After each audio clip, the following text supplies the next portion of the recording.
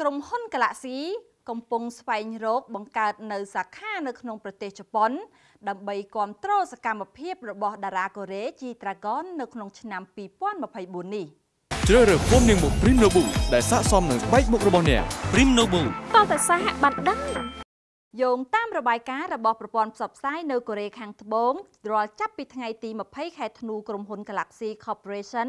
ដែលទៅចុះហត្ថលេខាលើតារា K-pop G Dragon អាចនឹងកំពុងស្វែងរកការគ្រប់គ្រងលើសកម្មភាពក្រុមរបស់ក្រុមចម្រៀង Big Bang នៅឆ្នាំ2024សាជីវកម្ម Galaxy ត្រូវបានគេស្គាល់ជាចម្បងសម្រាប់នាមជាក្រុមហ៊ុនអាជីវកម្មនៅក្នុងវិស័យនៃការអភិវឌ្ឍលើប្រព័ន្ធបច្ចេកវិទ្យា SI ឬ Metaverse សារវិជ្ជាកម្មនេះក៏ធ្វើលើការផលិតកម្មវិធីទូទស្សន៍និងជាក្រុមហ៊ុនផលិតនៅពីក្រោយកម្មវិធី Netflix មួយចំនួនទៀតផងបន្ទាប់ពីជ្រើសរើស G Dragon ដោយជោគជ័យ Galaxy មានគោលបំណងពង្រីកអាជីវកម្មរបស់ខ្លួនក្នុងឧស្សាហកម្មតន្ត្រី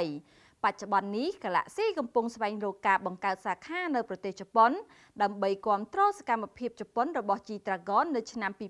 2024ដោយជាបឋមនេះក្រុមហ៊ុនបានជួបនឹងអ្នកតំណាងដៃគូបុតសម្ព័ន្ធរបស់ក្រុមហ៊ុនគ្រប់គ្រងក្រុមចម្រៀង Big Bang សម្រាប់ការពិភាក្សាតាក់ទងនឹងឱកាសច្នៃប្រឌិតជាច្រើនរួមទាំងសកម្មភាពតូលក៏ដូចជាការផ្សព្វផ្សាយជាក្រុមរបស់ Big Bang ផងដែរ